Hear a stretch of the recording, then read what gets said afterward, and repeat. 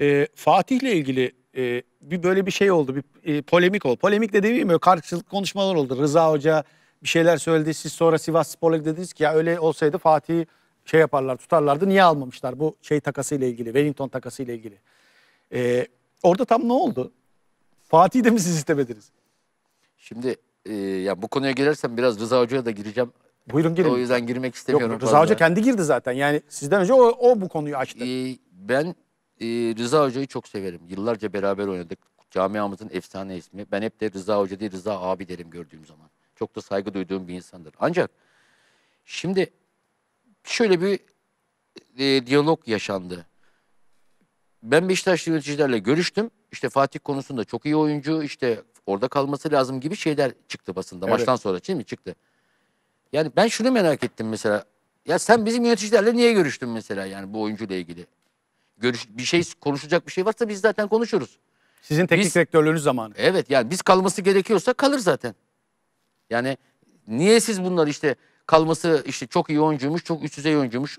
Tamam öyle olsun. Öyle de oyuncu olabilir. İnşallah daha da yukarıya çıkar ama yani Rıza Hoca nerede çalışıyor?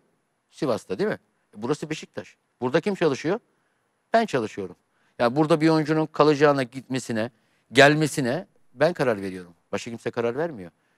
O yüzden orada Rıza Hoca'ya ben biraz e, şey yani üzüldüm biraz. Ona da şey dedim yani lütfen sen Sivas Spor'la ilgilen yani.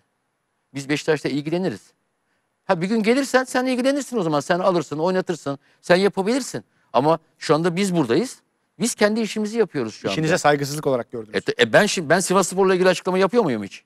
Veya başka bir takımın oyuncusuyla ilgili bir açıklama. Ben Galatasaray'ın, Fenerbahçe'nin bir oyuncusuyla ilgili gelip burada bir açıklama yapsam doğru olur mu? Olmaz. Ben Fenerbahçe'nin yöneticileriyle görüştüm. Galatasaray'ın yöneticileriyle görüştüm işte. Bu şöyle oyuncu, böyle oyuncu bunu göndermeyin desem doğru olur mu? Olmaz. Aynı şey fark etmiyor. Biz biraz e, ona bozu. Evet Fatih Aksoy'un gitmesine de ben karar verdim. Ben gönderdim.